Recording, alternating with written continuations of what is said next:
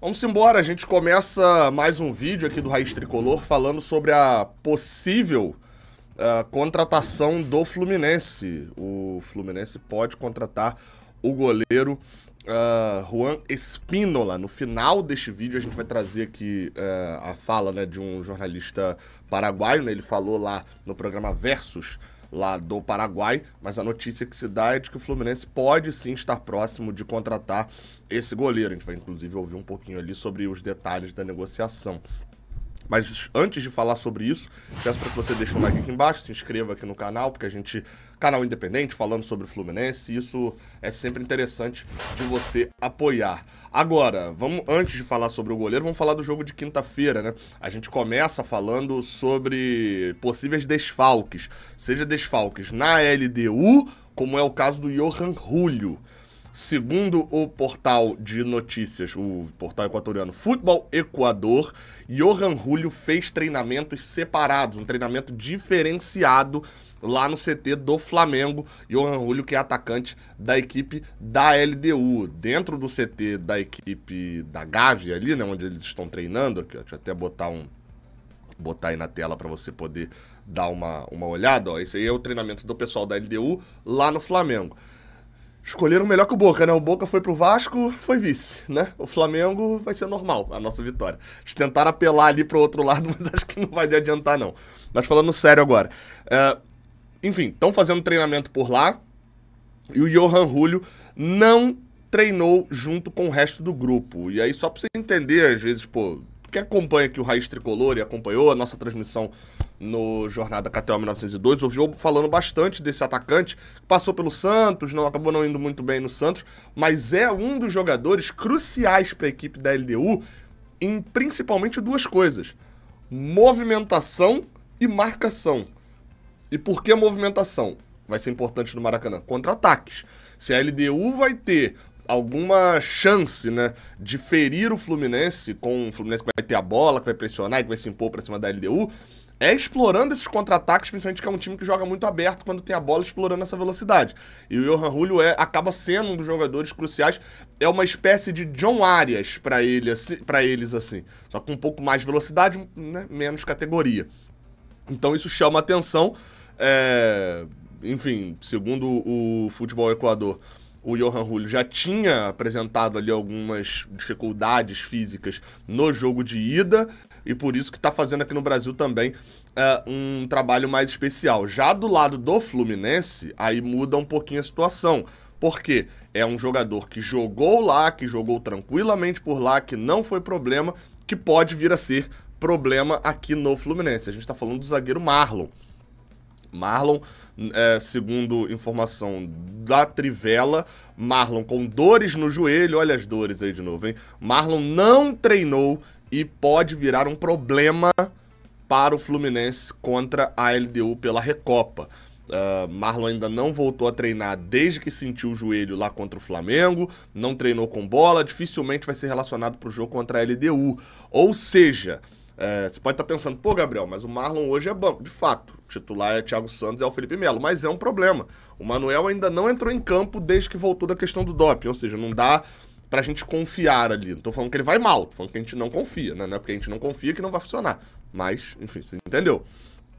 E, enfim, chama atenção esse ponto, porque sem, sem o Manuel, né? David Braz treinando separado, sem Marlon, a nossa única opção no banco é o Antônio Carlos. Não acho que para o jogo contra a LDU será estritamente necessário. Mas é um desfalque, é chato, enfim, é complicado. Não é exatamente o que a gente gostaria de ter. Toda ajuda é, é, é bem-vinda. O treinador do, da LDU, quando foi perguntado ontem, né, na coletiva que ele deu, ele respondeu dizendo que é, que todos estavam prontos, que todos estavam para jogar e etc. Não mencionou nada do Johan Julio. Faz até sentido também dele não dar, né? É, é não dar informação para o adversário também, né? Não, não teria necessidade dele fazer isso. Enfim, vamos falar só de um outro assunto ainda, que também tem a ver com esse jogo da LDU, que é uma declaração do goleiro Alexander Domingues para a, a imprensa sul-americana, né? Eu achei essa matéria no Olé, né? Mas, enfim, não, não achei exatamente aqui para quem ele deu essa declaração. É, enfim, ele, ele meio que não, não falam aqui para quem que ele deu, também não tem assinatura do Olé, mas enfim, ele deu ali essa declaração sobre o jogo de volta. Olha aí, eu vou botar aí na tela. A matéria tem o seguinte título. Eu botei já traduzido pelo Google Tradutor, né? Alexandre Domingues, tal como eles, vamos tentar sujar o jogo. Ele tá, tá falando sujar o jogo no sentido de cera, né? Ele completa aqui depois, ó, vou ler direto as declarações dele. Uh, temos que ser muito inteligentes, temos jogadores muito rápidos e qual, a qualquer momento podemos complicá-los.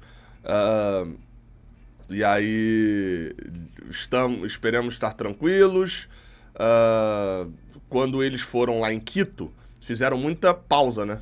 É, fizeram muita cera, né? E não se jogou muita coisa. Também vamos tentar sujar o jogo aqui. Estou bem, felizmente os resultados foram dados para a LDU. Temos que ter calma, concentrar-nos desde já em saber que não vai ser fácil contra este rival. No Uruguai defende três pênaltis, espero que a sequência de rebatidas possa continuar e ajudar a alcançar o objetivo. É, cara, é, é, é complicado, porque assim, a gente pode ser idiota aqui e e falar que o Fluminense não fez ser. Então mentir, eu não vou mentir aqui para vocês. O Fluminense de fato lá atrasou e segurou o jogo quanto pôde. É um recurso do jogo, tá? É um recurso do jogo a ser é, é um recurso do jogo que irrita muito o adversário e que a gente tende a não ligar muito quando é o nosso time que faz, né? É um recurso do jogo. A gente fez cera 200 vezes lá e saiu sem o resultado. Não conseguiu travar o resultado. Aqui eles vão fazer cera também, tá? E cabe a nós fazer eles ficarem sem o resultado também, tá? O que, que me irrita um pouquinho já é quando o árbitro é permissivo com cera. Por lá, o árbitro foi permissivo com cera, isso é fato, tá? O árbitro de lá foi. Agora, o daqui, o Facundo Telo, matéria do GE. Globo, lembrando que na Copa do Mundo, o Pepe reclamou muito de ter dado oito minutos de, de acréscimo no jogo lá entre Marrocos e Portugal, né? Que o Marrocos venceu uh, o, o, Portugal por 1 a 0 E que ele foi totalmente é, é, tolerante, né?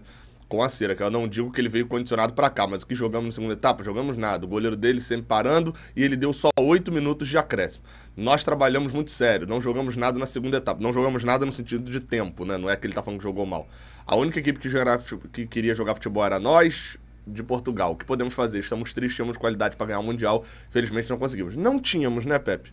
Não, não é ansiedade, é raiva, porque não deixaram a gente jogar no segundo tempo.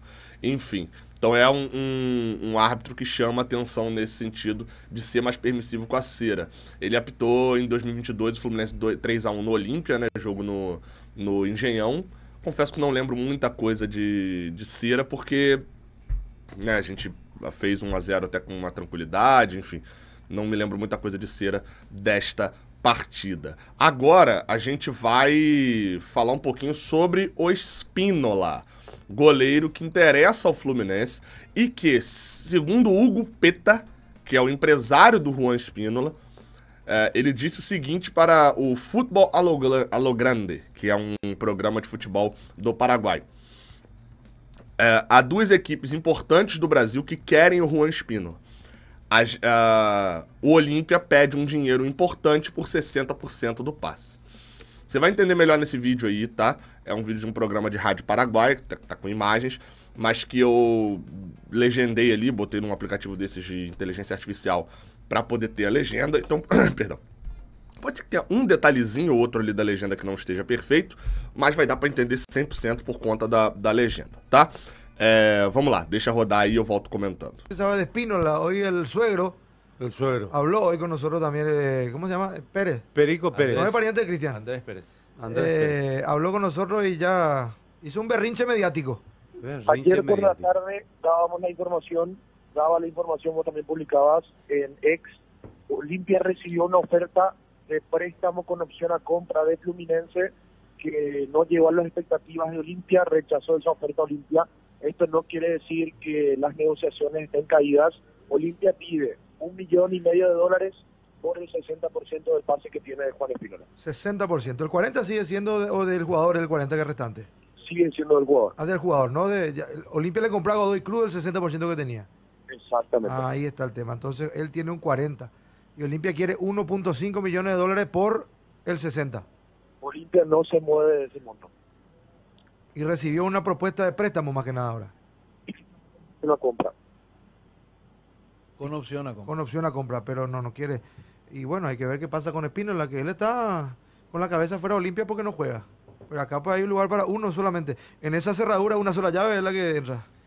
Y Entonces no hay forma. salvo que sea un cerrajero, No, una nomás va a o- entrar. o pero pase algo, una desgracia con Olveira. ¿no? Que no. el tema es que alguien le pregunta al jugador qué quiere, porque Olimpia puede decir no. Pero ¿cómo queda el jugador? No, el jugador hace rato estaba su cabeza fuera de Olimpia. Sí, Por eso, Se a eso enojó. voy. Pero bueno, ahora Olimpia no lo quiere negociar ahora. Es por ese monto que lo ofertaron. Y mucha plata. 1,6 dijo Eh, Valor. 1.5. 1.5 por el 60%. Es buena plata. Y si llega ese monto Fluminense, se lo lleva o el club que tenga interés en Juan Espínola. Eh, Pero hasta ahora nadie llegó a ese monto. Pero Álvaro. como digamos, si va a Fluminense va a ser suplente también hoy día. Y sí, está Fabio ahí, el arquero titular campeón de América. Eh, pero bueno, es un pa- paso importante. Además, él se, Económicamente él se ¿no? exhibió ante eh, el gran público brasileño jugando ante Flamengo y ante Fluminense y fue figura. Destacado. Por eso, obviamente, lo buscan desde Brasil a, a Juan Espínola. Él Enfim, então assim, tá. Boa parte foi falado, não vou ficar repetindo aqui. Mas é, acho que entra na conta disso. Até eles reconhecem que é muito dinheiro. Pô, um- uma milha e meia aí de, de dólares. Por metade praticamente do jogador, só 60% do jogador. É muita coisa, tá? É, mas é um goleiro que eu também. Eu ainda não. Confesso que ainda não consigo entender 100% a lógica do Fluminense de contratar esse jogador. É.